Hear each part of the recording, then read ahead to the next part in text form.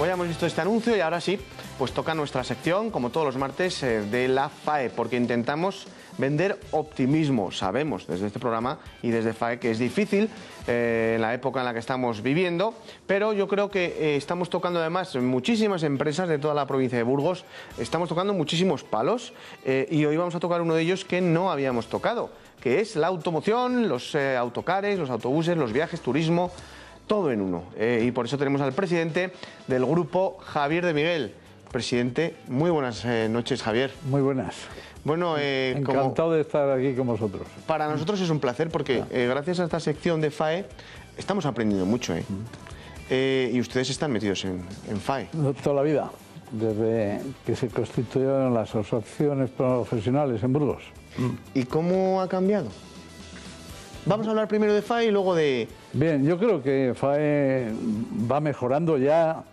Son pocos los, grupos pequeños, algún sector por ahí gremial todavía queda que no se ha integrado, pero la gran mayoría están ya integrados eh, dentro de lo que ya es federación. Al principio era asociación y ahora ya es una federación de, asociaciones. Bien, muy bien. Ahora ya... Yo creo que se está haciendo bien además. ¿eh? El empresariado en estos momentos tan difíciles, pues son muy difíciles. Yo creo que cada día que pasa sale una noticia más dramática ¿eh? en cuanto a la economía. Y así habrá que ir peleando ¿eh? y a ver si conseguimos nadar hasta la orilla.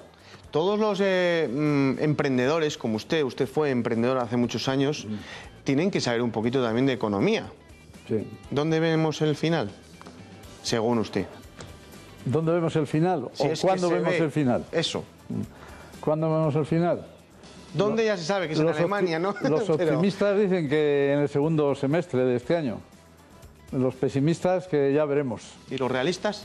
Los realistas yo digo que ya veremos, ¿eh? porque cada día que ves que va cayendo...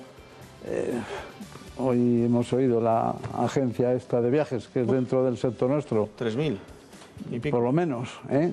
hace poco fue Marsan, o sea que todo se va dando la mano una con otras y cada vez es más difícil el, pelear. ¿eh? Escuchaba yo, eh, esta mañana, escuchaba yo a, un piloto de Iberia y decía que es que querían que Iberia pues, no diese beneficios para fundirla, que es lo que están haciendo. Entonces, que por ejemplo, un viaje de British, eh, ¿cómo se dice? British Airlines, ¿no? Costaba 400 euros y el mismo con el avión de Iberia, con la tripulación de Iberia, con el piloto de Iberia, con todo de Iberia, 1.800. Sí. Entonces, ¿qué es lo que no cuadra ahí? Pues claro que no es rentable. ¿Cómo va a ser rentable? Nadie va a coger el de Iberia. Muchos son precios, en vez de económicos, son precios políticos. La situación te embarca a tener que eh, pues, recortar los que hablan de los, los de bajo coste, como la Ranay y tal, pues que resulta que luego llevas una maleta así como esto y tienes que pagar otro tanto. Y Iberia, que yo creo que es una gran compañía, es, eh, las líneas Iberia es poco la marca España. Decía hoy, le oía yo al ministro de Asuntos Exteriores en, las noticias, se me veía, dice, sí, es que Iberia es la, la marca España, no se puede caer, no puede desaparecer. Pero claro, ¿qué pasa? Que los pilotos tienen unas condiciones, los de antes, eh, más de tres veces que los de otras aerolíneas. Todo eso lleva unos gastos ya mm, que son insoportables ¿no? para ponerse en el mercado actual. Hemos entrado en... Yo de aviones entiendo nada, pero, pero por lo que oyes, ¿no? Eh, la British los mismos pilotos que hacen las mismas líneas pues tienen unos salarios, aunque es Inglaterra, mucho más altos, inferiores, A los inferiores a los nuestros. Y lo digo porque tengo un amigo que me veo con él en Madrid una vez al mes en una reunión de otros temas. Y es uno de los ejecutivos de, Iberia y por eso lo comenta y dice es que los que están entrando nuevos dice ganan como un casi poco más que un conductor de un autobús tuyo y los otros son como si son mm, los que van a ir a la luna. ¿eh? O sea, hay unas diferencias abismales dentro de, la misma empresa. entonces están peleando ahí unos con otros a ver qué, porque claro, se rumorea que van a salir 4.000 también. Es verdad, es verdad. Y en el, eh, lo que nos ocupa hoy, eh, ¿cómo está, lo primero, nos- me gustaría saber cómo está el sector de, de los autocares? A mí me gusta decir autocares. Sí, yo también. No sé por qué, ¿es más romántico autocar es que autobús, No, es o- que son dos cosas distintas. o son distintas? Sí. El autobús, por ejemplo, son los urbanos, Sí. eh, los que hacen servicio urbano y, y de cercanía de las líneas regulares de servicio regular. Y autocar es el que hace discrecional principalmente. ¿eh? Hace viajes de excursiones, que es la palabra que dice, voy de excursión. Aún se sigue... autocar? Voy en autocar en excursión. Entonces, eh, a mí también me gusta decir autocar, ¿no? ¿Que ¿Cómo está el tema? ¿Cómo estamos? Pues muy tocados, También. muy tocados, por varios factores. Primero diría yo que eh, los palos que nos están dando con los combustibles, pues son tremendos. Eh, Claro, porque ustedes no pueden subir el billete eh, tanto como sube el gasoil, ¿no? No, no podemos subir nada. Ahora comentaremos eso. El, urbano es un precio que pone el ayuntamiento en cada ciudad, marca también es un precio político, no es un precio económico, porque tendría que pagar 5 euros en vez de 1,20, ¿no?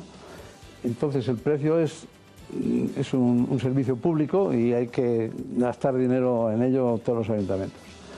Las líneas regulares, también el Ministerio de Fomento y las autonomías, cada uno va marcando también los incrementos. Ha subido el combustible eh, X, pues se prorratea un poco y se va añadiendo. En cambio, el discrecional, eh, lo que es el autocar de excursiones, ese no, de entrada no hay tarifas.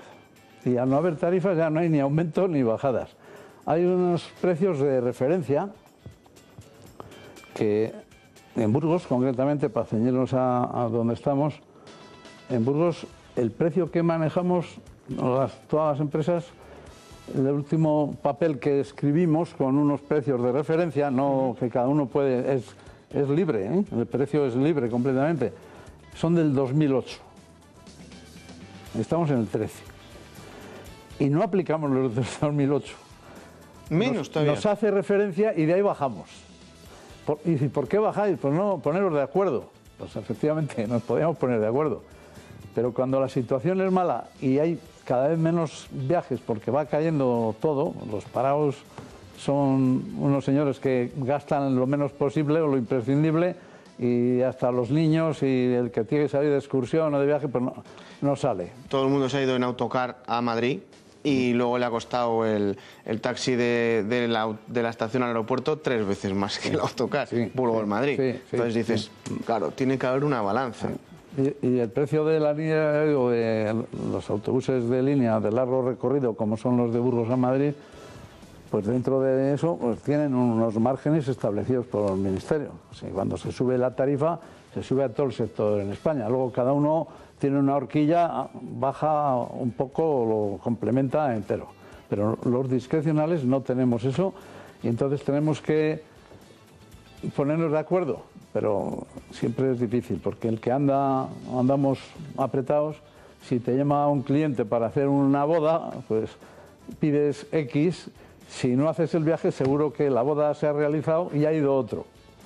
Y eso te está marcando la tarifa que tienes que aplicar el, que te llame eh, a continuación. ¿Y qué redunda en eso? Pues que estamos aquilatados en una estrechez tremenda. Claro, cada autobús tiene su conductor, viajes largos tiene que tener dos. Claro. Para hablar de las jornadas, podríamos estar aquí un cuarto de hora hablando de la jornada legal, ¿eh? Sí, sí, no, no. Que está marcada por la legislación ¿Cómo europea. está? ¿Cada hora y media tiene que descansar o cada No, No sé, no, ¿eh? tú puede, en cuatro horas y media hay que descansar 45 minutos. Ajá, vale. Pero luego la jornada no puede durar más de 15 horas. Desde que comienza el conductor hasta que termina, no es que conduzca 15 horas, porque la jornada puede ser de 9 horas y un día a la semana puede hacer 10, dentro de las 40 horas semanales. Entonces, un señor, por ejemplo, sale de aquí a, a Laredo, a, ¿A la playa? a la playa, sale a las 8 de la mañana, 8 y 15, 23. A las 11 de la noche tiene que, haber, tiene que estar en el garaje el coche ya parado. Porque como vamos controlados con una cámara sí, con el fotográfica ¿eh? que te va marcando, ya son además digitales, ya marca ahí y se queda grabado para siempre. Entonces, ese mismo viaje, dice, pues salimos de Laredo, que hemos puesto el ejemplo de Laredo, a las 8 de la tarde. No llegas. Pues como se complica un poco el viaje y tal, no llegas. Tiene que coger el chofer, llamar y, le tiene que salir a buscar uno a Villarcayo o a, por donde venga, por la carretera que venga. Y, así, y así a diario, ¿eh? Porque son viajes además pues que son discrecionales y no le puedes decir al cliente, tú a las 11 estás en el garaje. Ya, ya. ¿Y, cómo, cómo, ha cambiado su vida desde que se embarca en, en este viaje? ¿La vida mía? Sí, claro. Ya. Autocares. Bueno, yo la empresa lo vamos llevando yo creo que dentro de completa legalidad. ¿Cómo empezó usted? ¿Con un autobús? ¿Con un autocar? No, no, yo no empecé. ¿Empezaron antes? Empezó mi abuelo ¿Buf? en 1923. Caray. Hacía la línea de, primero la línea de viajeros de Quintana del Puente, yo nací en Quintana del Puente. Claro, por eso de ahí, claro. Valencia. De Quintana del Puente a Palencia. Después se empezó a extender, mi abuelo era muy emprendedor, eh, de Palencia, de, Quintana del Puente, le prolongó más arriba Habrás oído hablar de retortillo por ahí, por sí, la revista Hola y tal, ¿no? Estado, estado también. cobor de cerrato. ¿Qué leche tenían ahí? ¿Usted no ha tomado esa leche que venía en bolsas de plástico? la he visto, ¿no? ¡Ay, qué buena! Buenísima. No, la he tomado. Yo sí la tomaba. Bueno, pues el pueblo siente es cobor de cerrato, que es cobor de también cerrato. lo conozco. Luego Peral de Arlanza, Palenzuela, esa línea fue la... cebollas. Sí. Conozco mucho esa tierra, como ve. Sí, sí señor. Y entonces de ahí mm, mi abuelo empezó primero por la provincia de Palencia, la línea esta que he dicho, Cerrato, otra cerca de Carrión de los Condes, Cervatos de la Cueza y Sagún. Eso ya era de Campos. Y no me sé exactamente bien el año, pero la primera línea de viajeros que hubo de Burgos a Miranda de Ebro fue de mi abuelo. ¿Ah? No sé si empezó en el 29, en el 30, por ahí. Bueno, el año... Y en el 34 también comenzó Villaoz, Burgos. Mira. Y esas, en, cuando empezó la, contienda, como se dice, en el 36, se cortaron esas líneas y mm, ya era, mi padre también y mis tíos dejaron de hacer la de Villa, Villaoz y Miranda y se empezó en el año 38, yo creo que es, lo tengo aquí, Burgos-Palencia. Burgos-Palencia. Esa ha sido la línea de primera importante. Es que tengo aquí unos papeles muy curiosos. Burgos-Palencia, el 1 de febrero de 1938. Mira, caray. Recaudaba en, en el día del autobús 138 pesetas. ¿Y en esa época cuánto costaba un autobús, un autocar? ¿Eh? Sí, sí, lo tiene ahí. Sí. Y, cada vez que compraban un autocar nuevo, ¿era un día de fiesta o era de, decir, oye, hay que trabajar más? Mira, la, de Villaoz, 1934. Ay, con buena letra además, ¿eh? que había un, letra de... había un contable... Letra de contable, sí, señor. Contable y esta, esta más todavía, mira. Y tardaba Casi dos horas, ¿no? no sé lo que tardaría. Qué cosas más Depende de los pinchazos que tuviera en el camino. Estas cosas las tienen que guardar, estas cosas hay que guardarlas para siempre, que yo creo que merece la pena. Ya para terminar, cuando, cuando eh, compraban un autobús nuevo, un autocar nuevo, ¿se apretaban los machos? se firmaban muchas letras. Sí, claro. Porque, se siguen firmando. Ya no se firman letras, pero te dan crédito psico para comprarles. Pero es que cuesta muy caro un autocar, ¿no? Este negocio te mueres con 3.000 años y sigues debiendo dinero siempre. O sea que se hacen viejos y ya, estás renovando la flota. ¿Que cuesta mucho? Pues un autobús ahora de estos modernos que tenemos ya valen pues 225.000 euros.